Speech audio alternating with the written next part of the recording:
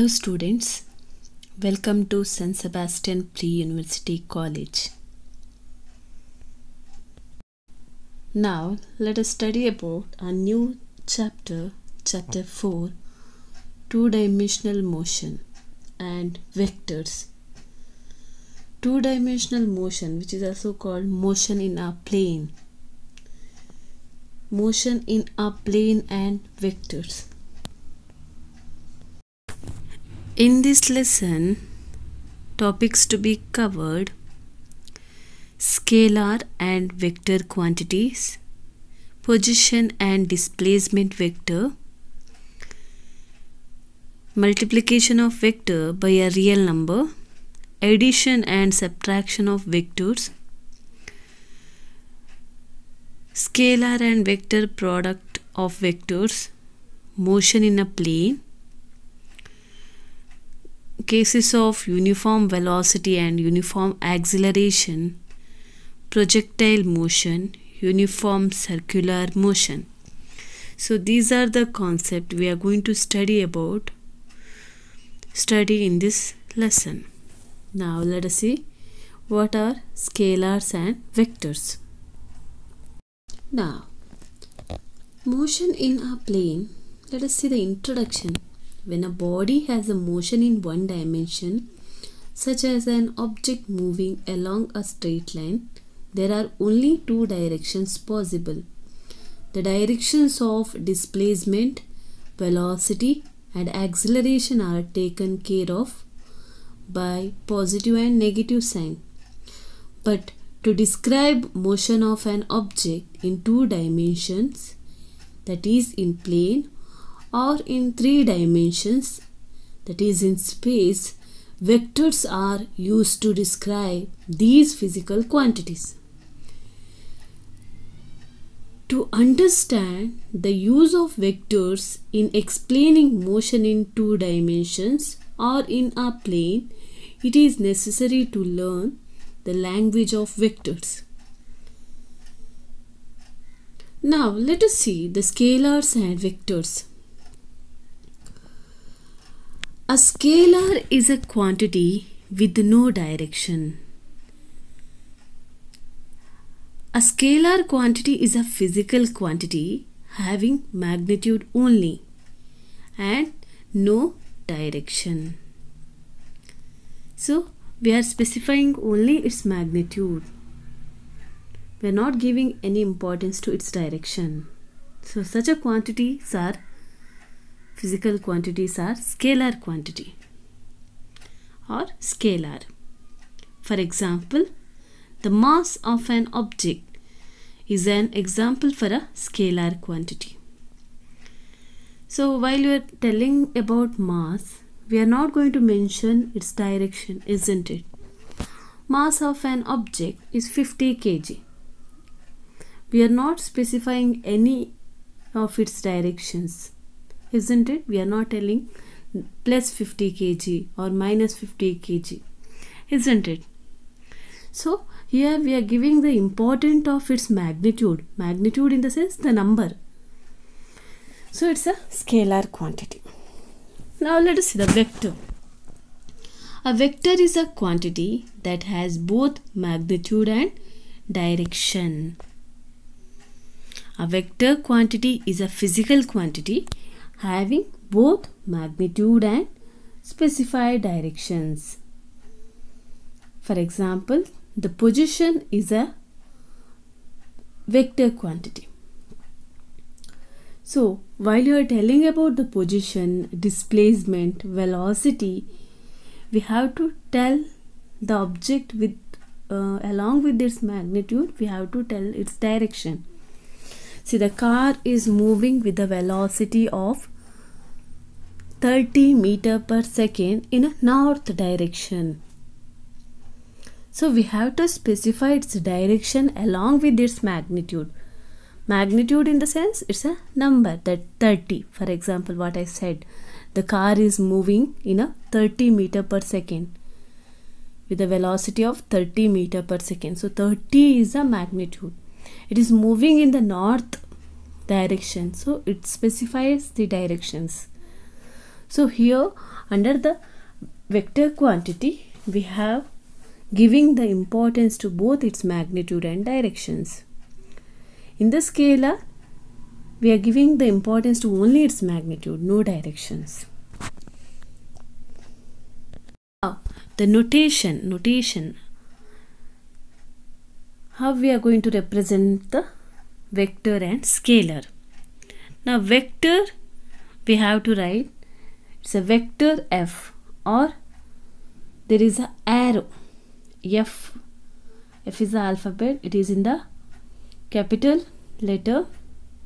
So the capital letter f with arrow that arrow indicates that f is a vector the magnitude of vector we are representing in the modulus of vector. The direction of vector might be 35 degree south of east 20 degree above the positive axis. So while you are telling uh, the quantity we have to tell with the direction magnitude along with the direction. So 35 degree magnitude south is direction. Whereas in the scalar we can represent any letters not bold face no arrow. If the letter with arrow that indicates that is a vector quantity. So a vector is represented by a letter with an arrow over it. So a vector is represented by a letter with an arrow over it. So here f is a letter arrow over it that represent f is a vector. So f is a vector. Arrow indicates it's a vector quantity.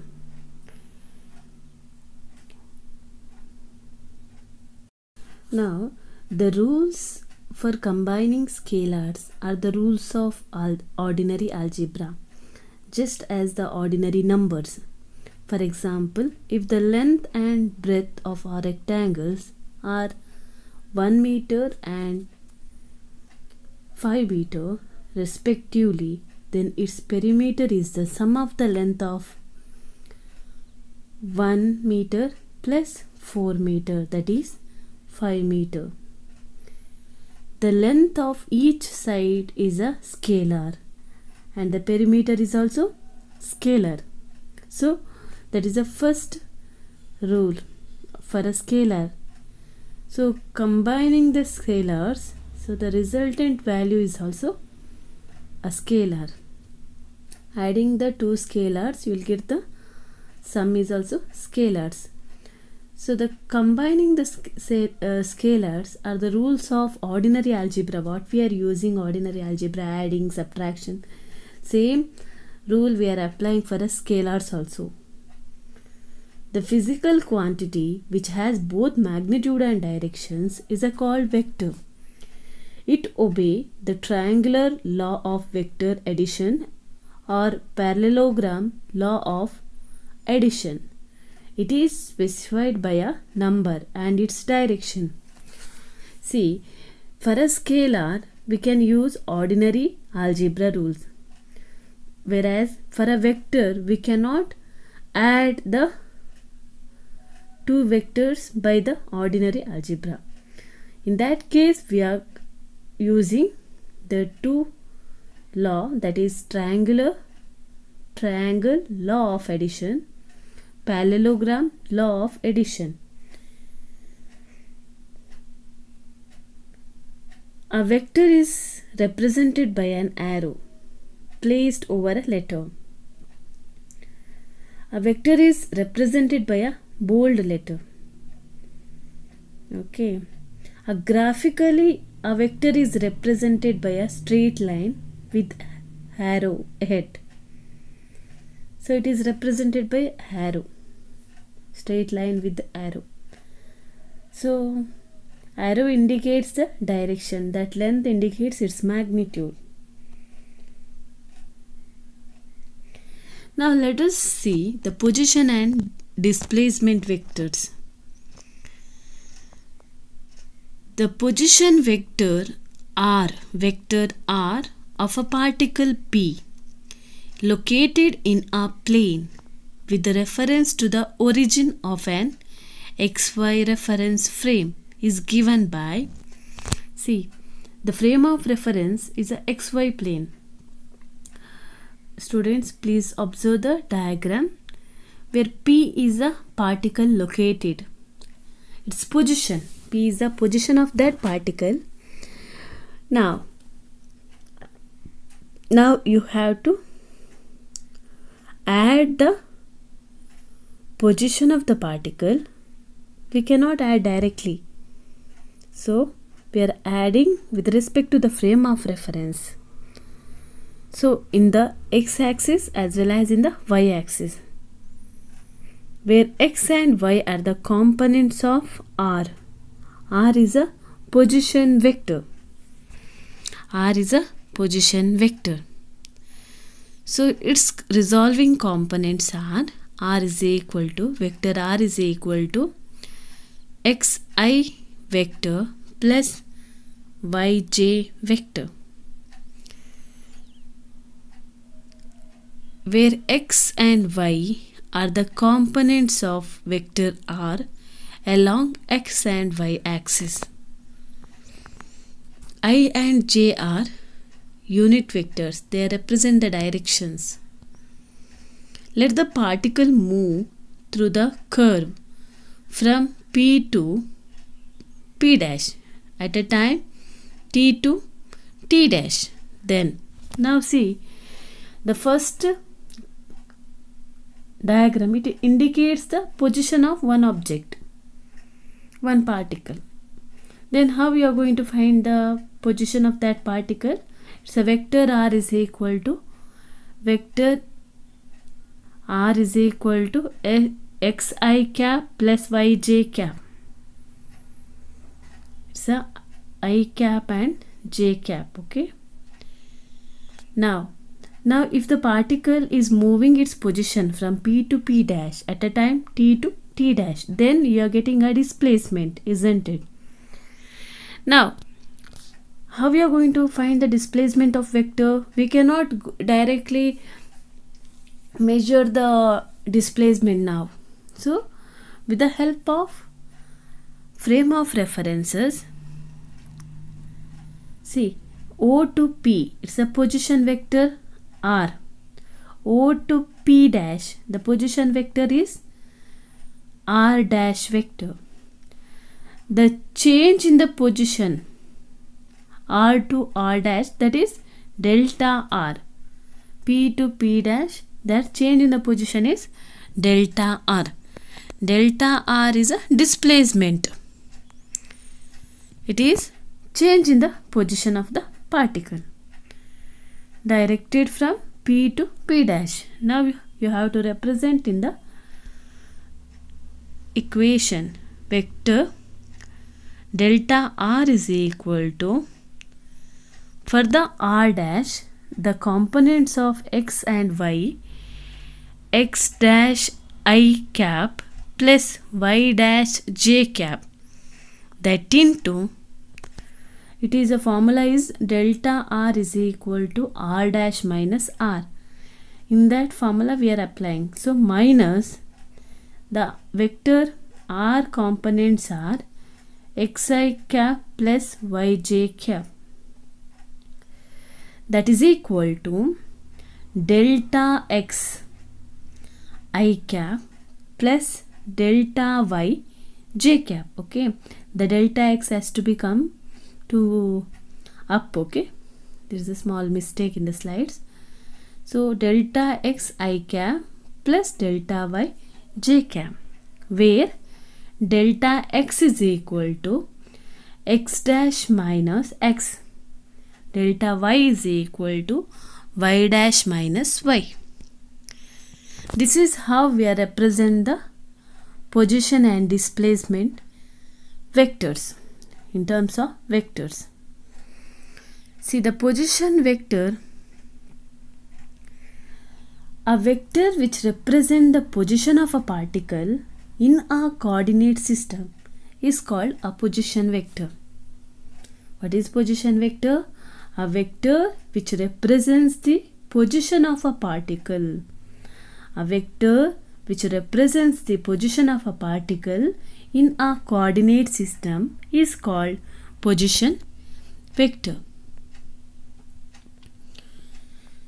Now in this example the position vector r of a particle p is located in a plane with the reference of to the origin of an xy frame is given by vector r is equal to xi cap plus yj cap where x and y are component of position vector r along x and y axis. Now let the particle move through the curve from P, P to P dash at the time T to T dash. See the particle is moving from the position P to P dash. Now you are getting a displacement. From the origin of xy plane, we are represent the position vector r and r dash. The change in the position that is delta r. Now, delta r is equal to vector delta r is equal to r dash vector r dash minus vector r. That is delta r is equal to x dash i cap plus y dash j cap minus xi cap plus yj cap. That we can write delta xi cap plus delta yj cap where delta x is equal to x dash minus x and delta y is equal to y dash minus y.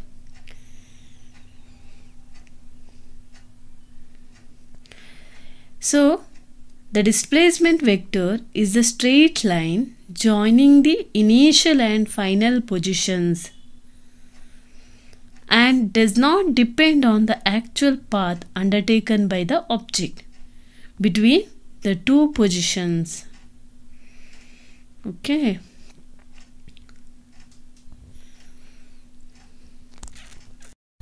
Now let us study about velocity in terms of vector. We already studied these concepts, isn't it? Velocity, accelerations and all. Now we have to represent in terms of vector. Now average velocity vector v AV AV is the average velocity of a particle is the ratio of the displacement to the corresponding time intervals. So it is a ratio of displacement to the corresponding time interval. Vector VAV is equal to the displacement to the time interval. The vector delta r divided by delta t. Delta r which is equal to delta x i cap plus delta y j cap. Please student please note that delta x it will become to up okay? Delta x and delta y it should become to up. There is a mistake. Divided by delta t. That is equal to delta x divided by delta t i cap plus delta y divided by delta t j cap. So we have to write the terms separately. Delta x divided by delta t i cap plus delta y divided by delta t that into j cap. Now delta x divided by delta v delta t can be written as vx av that is the component of x-axis that is average component in the x-axis. Similarly, delta y divided by delta t can be written as vy that is the component along the y-axis. So, vector VAV is equal to VXAV i cap plus VYAV j cap. The direction of average velocity is the same as the direction of displacement. The instantaneous velocity is given by the limiting the value of average velocity as the time interval approaches zero. Instantaneous velocity in the sense it at particular instant of time what is the velocity that is the instantaneous velocity that can also be represented by vector v is equal to limit delta t tends to 0 delta vector delta r divided by delta t that is equal to dr divided by dt. The meaning of limiting value is explained in a motion in a straight line. So these concepts are we already studied in the motion in a straight line lesson. It's a derivative of r with respect to time dt.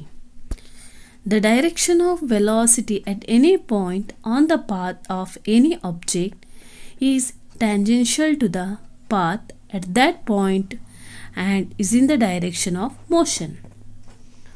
That is the things we are going to study in the velocity. Now, velocity in component form.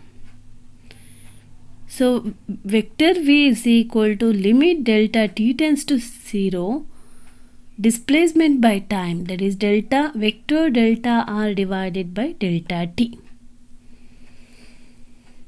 see at particular point p what is the velocity of that part particle that we are going to find with the help of vector resolution we are going to solve from the vector resolution so we are making one tangent, uh, tangential line to that point. It gives the direction. That direction is theta. It gives the velocity. Now we are going to uh, resolve the component along x and y axis. That is Vxi cap and Vy j cap. Now the formula vector v is equal to limit delta t tends to 0 delta r by delta t limit delta t tends to 0 delta r by delta t we can write it as delta x divided by delta t i cap plus delta y by delta t j cap. Now we are applying the limit delta t tends to 0 for both the terms. We are uh, splitting the terms. Limit delta t tends to 0 delta x divided by delta t i cap plus limit delta t tends to 0 delta y by delta t j cap. Students please note the delta x and delta y it should be come to the numerator not in the denominator okay it's a mistake. Now limit delta t tends to 0 delta x divided by delta t can be written as derivative of dx divided by dt. That into i cap. See the t is also it it comes to denominator okay? Uh, it is uh, it is there in the next step. Please uh, make the corrections. Plus limit delta t tends to 0 delta y by delta t that is equal to dy by dt j cap now these terms we can write the vector v is equal to vx i cap plus vy j cap where Vx is equal to dx divided by dt and Vy is equal to dy divided by dt.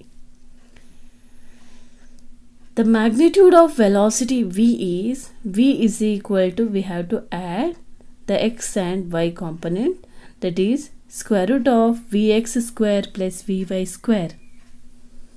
Vx square plus Vy square that is the magnitude of velocity V. The direction of velocity v is tan theta is equal to sin theta by cos theta. So that is v, Vy divided by Vx. Vy divided by Vx. So theta is equal to that is tan inverse of so theta the tan will becomes to this side so it becomes tan inverse so theta is equal to tan inverse so tan inverse it should become to uh, the nearer to that bracket okay? Again there is a mistake. Theta is equal to tan inverse of vy divided by vx so that you will get the value of theta. It is a formula for a direction. What is the formula for a magnitude? V is equal to square root of vx square plus vy square. What is the formula for a direction of velocity? Theta is equal to tan inverse of Vy divided by Vx. So in today's class we studied about introduction of motion in a plane. We studied about scalars and vectors.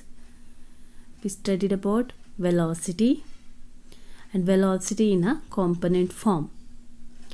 Thank you students.